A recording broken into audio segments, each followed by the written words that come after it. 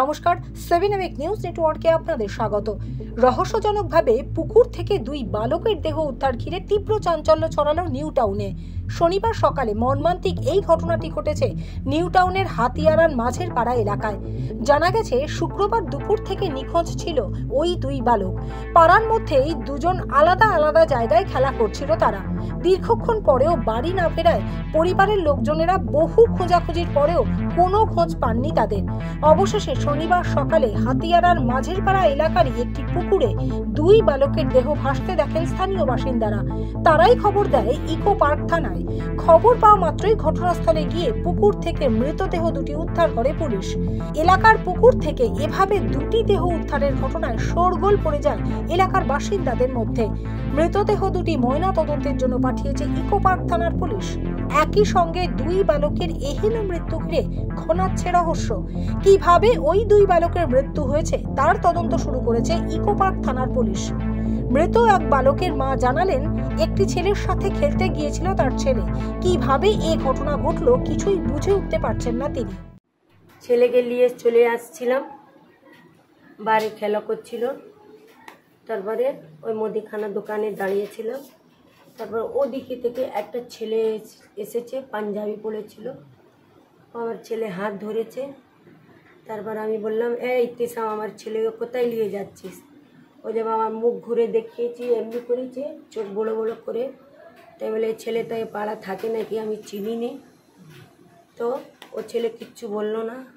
আমার ছেলে বলছে, না মা, এখানে থাকে আমার বন্ধু আছে, এর সঙ্গে এখা- এখানেই খেলা করছি। তুমি বাড়ি যাও, আমি এক্ষুনি চলে আসছি। তারপর আমি বাড়ি এসেছি, তিনটে পনেরো হচ্ছে। তারপরে সাড়ে তিনটে যখন হয়ে গেছে, আমি ছেলেকে বললাম, বাবুকে একটু দেখ। একটা ছেলে নিয়ে গেছে, ওকে আমি চিনিনি। এ শুনছে না। তারপর সাড়ে তিন থেকে আমি খুঁজে খুঁজে খুঁজে খুঁজে আজ ভোর পনেরো না কুড়ি মিনিট বাকি আছে। আমি, আমার বোন আর পাড়া একটা ছেলে খুঁজে খুঁজে পুরো পুকুরে পুকুরে একটা গোটে একটা ছেলে আমাকে কালকে বলেছিল কি দুটো ছেলে পুকুরে ডুবে মরে গিয়েছে, তখন থেকে আমার ভয় লেগে গিয়েছে। তারপরে আমি খুঁজে খুঁজে গিয়েছি তো মসজিদের কাছে, মৌলানা সাহেব আর দু তিনজন ও দাঁড়িয়েছিল আর ওরা বলছে, বাচ্চা আছে বাচ্চা আছে। তারপর আমি একদম দূরে দূরে গিয়েছি, এমনি করে আমার বাচ্চা আছে। ওর পিছনে একটা বাচ্চা আছে, আমার ছেলে পাও ধরে আর আমার ছেলে এমনি হাত করে আছে।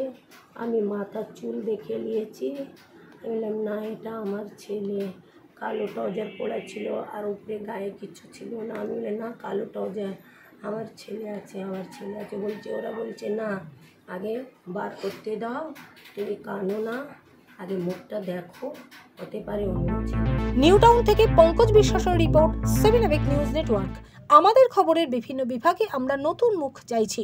আগ্রহী হলে যোগাযোগ করুন nine double eight three one zero seven one zero seven এই নম্বরে। আরও বিভিন্ন খবরের আপডেট জানতে হলে সেভেন এবেক নিউজ নেটওয়ার্ক চ্যানেলটিকে সাবস্ক্রাইব করুন। কারণ আপনাদের একটা সাবস্ক্রিপশন আমাদের কাছে অত্যন্ত মূল্যবান। জয় হিন্দ।